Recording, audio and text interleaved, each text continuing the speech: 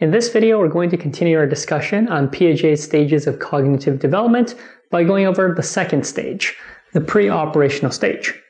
The stage is from ages 2 through 7. During this stage, children learn to think using symbols, but their thinking can be illogical. As an example of children using symbols, we can talk about pretend play.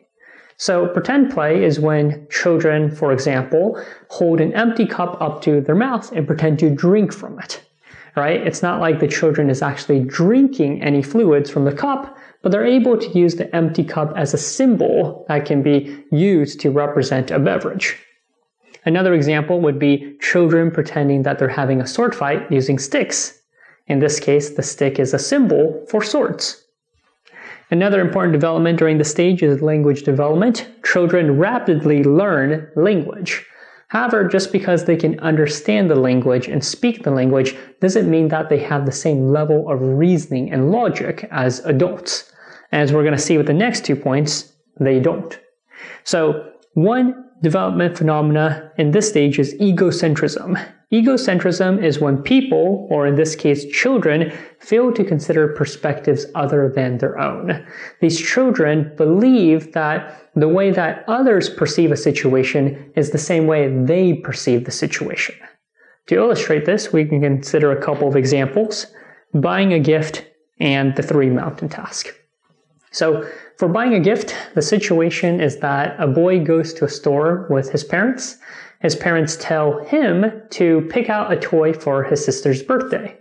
So the boy goes around the store and picks a toy car, thinking that if I like this toy, then my sister must like this toy too.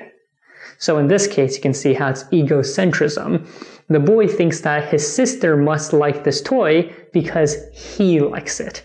He fails to consider that his sister might have different interests than himself. Another example is the three mountain task, and this is one of the famous experiments that Piaget developed. So on this diagram, you can see how this three mountain task works. The child is placed in front of a setup with three mountains. And you can see on the table, the child can be standing at different positions. The child is going to be standing from one position and they can see the mountains in some perspective.